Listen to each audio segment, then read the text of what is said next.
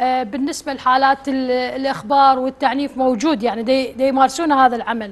بس ال- ال- الضيف هنا الكريم آه، يعني ما عنده قناعة أصلا بالمشروع ولا ولا فقرات رجل قاضي يقول لك يقول لك بعض القوانين اللي بالنصوص تصطدم مع الأعراف. ليش ما نلتزم بالأعراف؟ وإذا اكو وإذا أكو ثغرات بالقانون فممكن يعني هي هو القانون قابل للتعديل قابل لل- للإضافة قابل لل وإذا منظمات. المجتمع المدني منظمات- على المنصات تحكي منظمات- منظمات المجتمع المدني قاعدة تخاطب الواقع. إحنا نخاطب من أرض الواقع. إحنا لا اللي هم قاعد صنعوا أخرى اللي ما لها دخل. إحنا اللي أنا هذا اللي أقوله. يعني وكأنه الآخرين يعني اللي قاعد ضدهم نشوفه. إحنا ما أعرف. إحنا هنا ندخل ندخل النص القانوني ندخل الدستور. يعني ال- بالنسبة للدستور هو قابل للتغيير.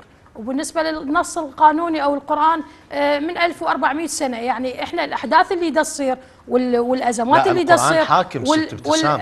لا نصير وال- تاريخية النص كأنه دخلتينا وال- وال- في مسألة فكرية. والحروب اللي دا تصير بالبلد آه، تحتاج إلى تغيير بالقوانين تحتاج إلى تعديل بالقوانين. يعني مثل ما نشوف حالنا حال أي دولة نطالب إنه قانون آه، والقانون على فكرة مو فقط يحمي المراه والطفل يحمي الاسره جميل يعني يعني بين فهم قوسين جنابك أنت ضد اللي ال- ذكره القاضي علي التميمي حيال هذا الملف. طبعا أكيد. جميل.